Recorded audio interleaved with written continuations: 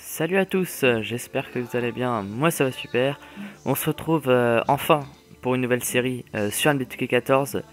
Euh, on est euh, parti, on va partir pour le mode My Gem, le tout nouveau mode de NBA 14 sur Next Gen. Euh, on va commencer par paramétrer euh, tout ce qui va nous aider pour la suite. Euh, on va jouer en Hall of Fame parce qu'on est des fifous.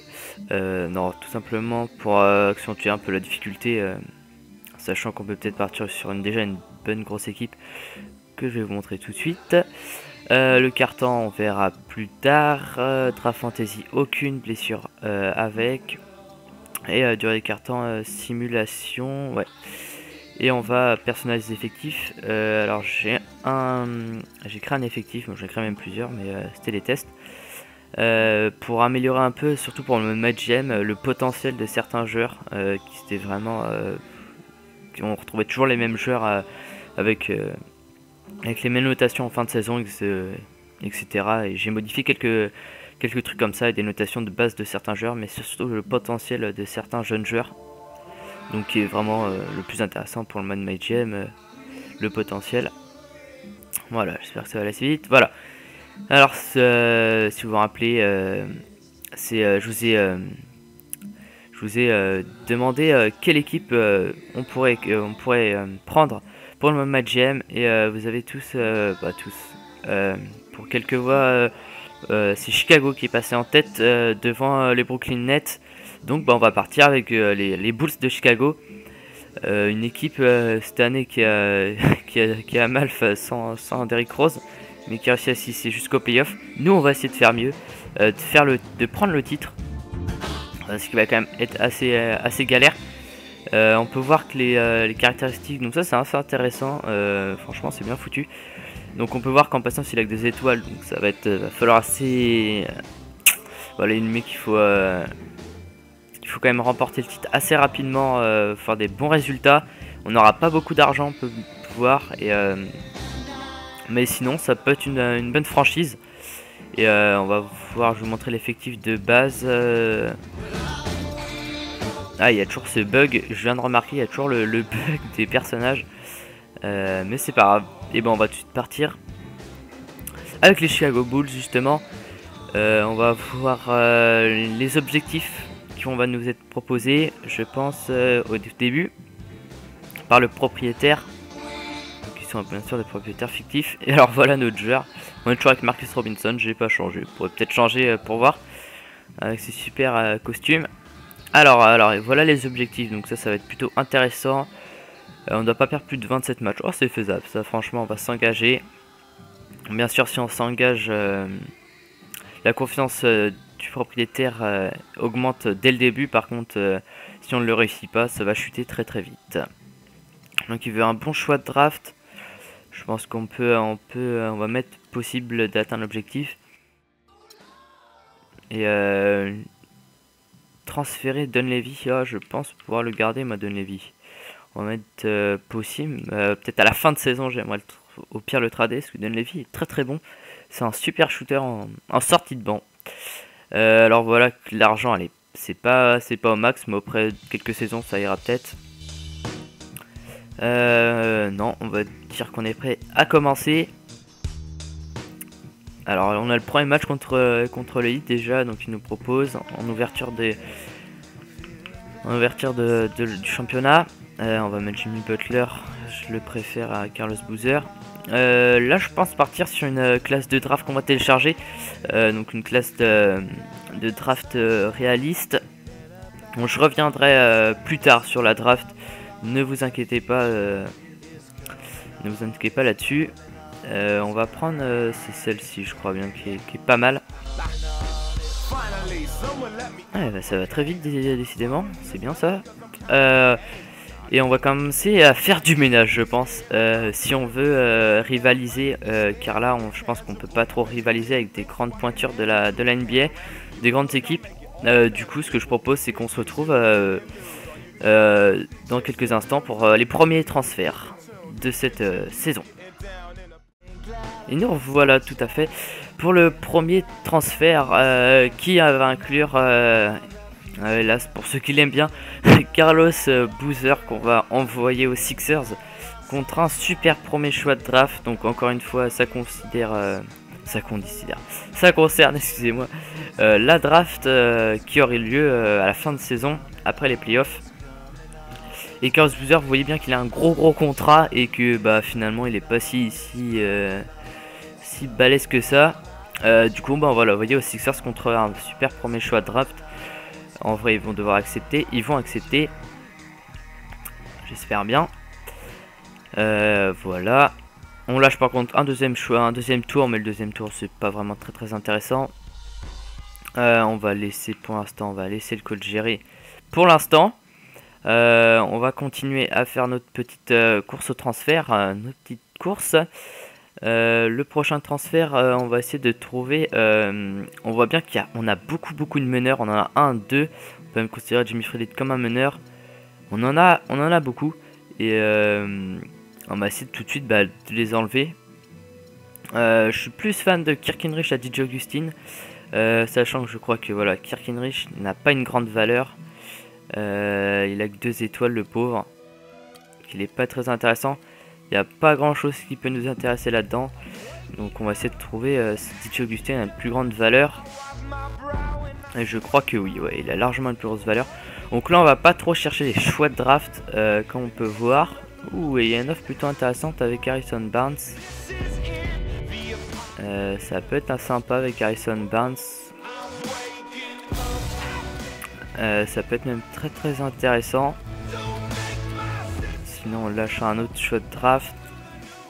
Sachant que 2015 euh, c'est loin donc je pense qu'on va peut-être essayer de lâcher notre choix de draft d'Harrison Barnes. Et nous revoilà pour un deuxième trad dans cette saison.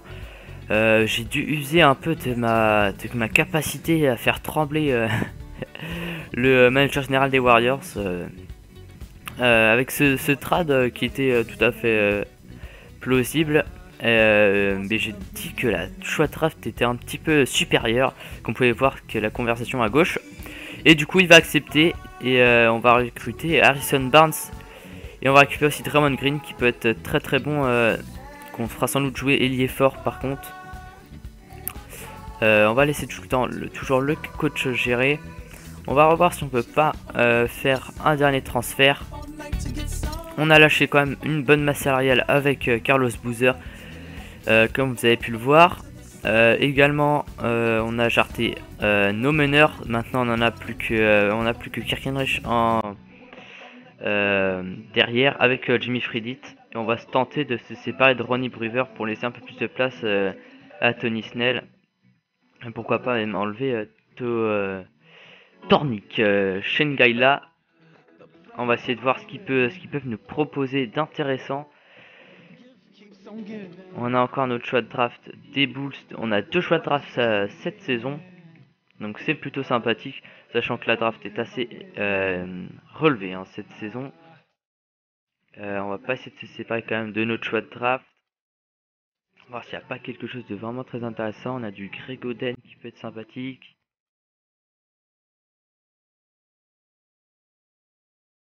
Il nous faudrait, euh, c'est vrai que pas mal d'intérieur, ça serait sympathique.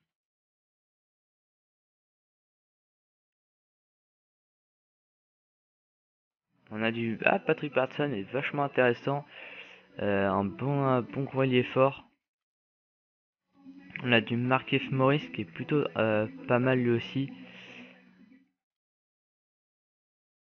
On a du... Ah, Doral White qui est pas mal, mais on a déjà notre ami... notre ami lié Murphy qui est un très très bon shooter. Donc on n'a pas besoin de récupérer un autre shooter. On va pas essayer de se séparer. Euh, je pense qu'on va se retrouver. Euh, je vais essayer de trouver un autre transfert. On se retrouvera euh, bah, de suite. Juste après avoir trouvé un transfert énorme. Voilà pour, je pense, qui va être le dernier transfert de au moins ce début de saison. on va accueillir Shabazz Mohamed et Ronnie Turiaf. Shabazz Mohamed, une grande star d'université qui a eu du mal quand même à sortir du lot à Minnesota. On va l'accueillir avec Ronny Turiaf qui nous servira sans doute beaucoup en doublure de Joachim Noah. Euh, vous savez toute la rage qu'il a Ronny Turiaf. Euh, et il est plutôt pas mal en tout cas pour l'avoir essayé plusieurs fois. Donc pourquoi pas. Et on dit bye bye à Ronnie Brever et Tornik Shengaila. Voilà pour ce trade, il va accepter dès maintenant.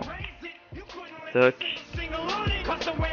on reprend un peu plus de masse salariale euh, comme vous pouvez le voir, mais c'est pas énorme énorme. Euh, là on va laisser le coach gérer pour l'instant. Et on va tout de suite faire un petit point sur notre équipe. Donc on se retrouve avec une équipe je trouve un limite meilleure hein, franchement. bah, c'était le but avec un meilleur surtout un meilleur banc je pense. Donc on récupère on retrouve à la main donc on aura Derrick Rose, Joachim Noah en pivot, Harrison Barnes, Jimmy Butler, Taj Gibson, Kirk Hinrich, euh, Jimmy Freelit qui est vraiment très très gros shooter. Alors lui, il faut pas le laisser tout seul. C'est un monstre surtout en tout cas. Euh, Mike Dunleavy également gros shooter. Euh, Tremont Green qui est très imposant à l'intérieur. Louis Samson, je pense, je le ferai peu jouer euh, avec Ronnie Turiaf qui a un bonus de plus 3. Ça c'est plutôt bon. Shabazz Mohamed également jouera pas beaucoup ou si jouera en arrière avec Toddy Snell.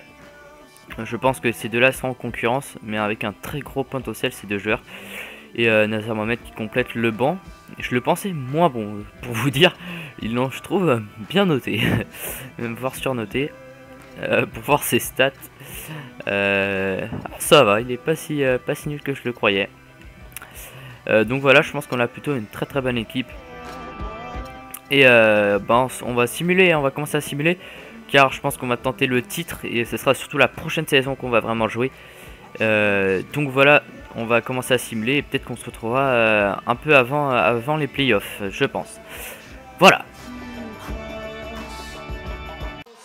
Donc voilà, donc pour faire euh, un petit point au cours de la, au milieu de la saison, on peut voir que nous sommes premiers de notre division devant des, des, bons Pacers et on est, on fait plutôt une bonne saison.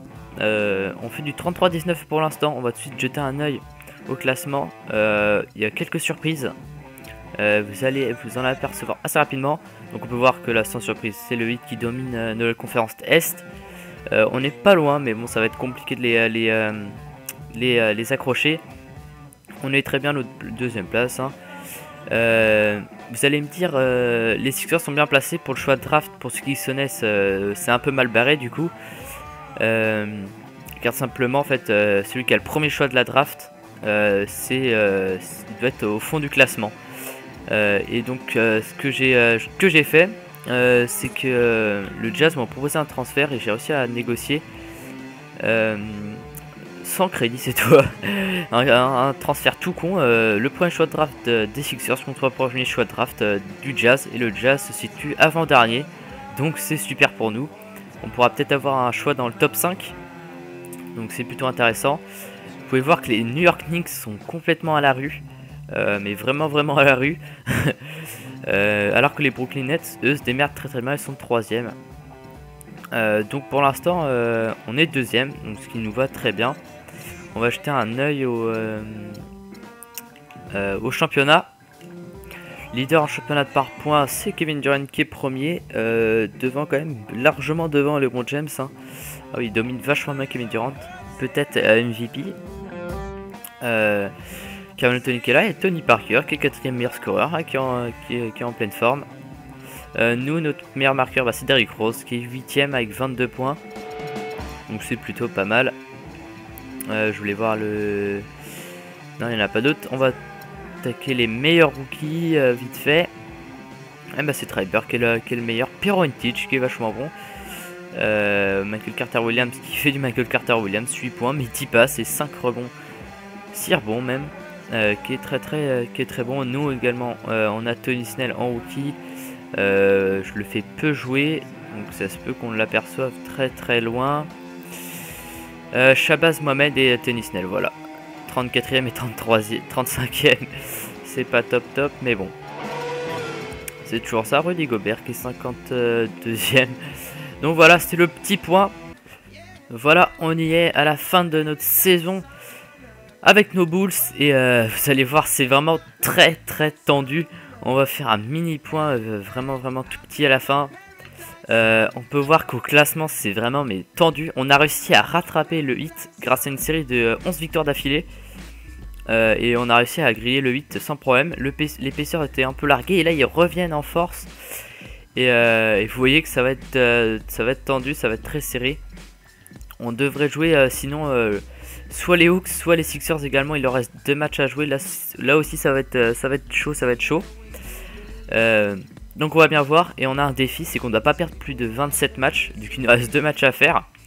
Euh, si on perd les deux, ce serait vraiment chaud parce que c'est vraiment deux équipes très très faibles. du coup, on va, simuler, on va, finir notre saison. Et on perd le premier d'un point, hélas. et on est égalité premier, là, faut absolument gagner ce match. Et on le perd Oh non On a quand même l'objectif rempli, mais on perd. Et je pense qu'on va passer... Euh, on va pas finir premier. Ah, c'est vraiment dur. Euh, on va voir tout de suite bah, les récompenses. Un VP bah, Kevin Durant, je pense que c'était un peu... Euh, on l'avait un peu deviné. Michael Carter Williams, rookie de l'année. Ouais, c'est aussi mérité pour lui. Merci à André Bynum. Andrew Bynum, qu'on a, qu'on a pu vu, qu'on voit plus d'ailleurs tout simplement. Meilleur défenseur, Anthony Davis. Ah, ça aurait peut-être été euh, Joachim Noah. Je crois qu'il était dans les, dans les 5 mais, dans les 5 premiers, mais euh, il n'a pas dû être choisi. Meilleure progression, Jordan Crawford. Ah oui, franchement, euh, monstrueux. Et notre coach de l'année, bah. Tom Thibodeau. Conférence égalité deuxième. Ah là, ça va être chaud. Et division égalité premier, ça va être vraiment tendax. Je sais pas contre qui on va jouer. On verra bien. Joachim Noah, élu dans le premier rôle NBA Team. Même Derrick Rose n'est pas choisi. On peut voir qu'il ah, était, il a été euh, monstrueux. Joachim Noah, deuxième. Euh, toujours pas de Derrick Rose. Hein, c'est vraiment, c'est vraiment bizarre. Et là, le Derrick Rose a quand même 23 points. Et Reja Rondo également qui fait son retour. All Defense Team, bah, Joachim Noah est, de, premier également. Et dans le, dans le premier All Defense Team. Ah, il aurait pu être largement meilleur défenseur vu ses stats comparé aux autres. Et euh, ben, on va tout continuer, on va tout accéder au tableau des playoffs.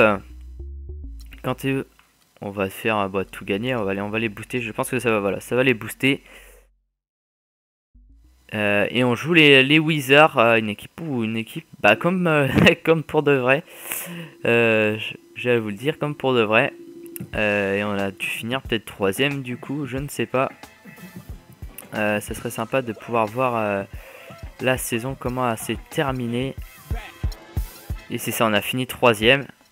Et eux, ils ont fini... Euh, on a fini ex bon c'est pas grave, on aurait pu... Les Hawks également euh, pas facile à jouer et... Euh, sont, sont pas faciles à jouer. Et pourquoi on joue pas les, les Pistons? C'est ça que je trouve chelou. c'est bien les sixièmes. Et on voit pas le tableau bien correctement. Mais euh, ah, on est quand même deuxième au classement des valeurs. En même temps, on a une, grosse team. Euh, moi, je vous dis qu'on va se retrouver bah, pour le prochain épisode. Euh, pour notre premier match des playoffs contre les Wizards. une vidéo qui était un peu plus spéciale, hein, mais on aura les matchs dans le prochain épisode. Je vous dis ciao ciao et, et voilà. Au revoir.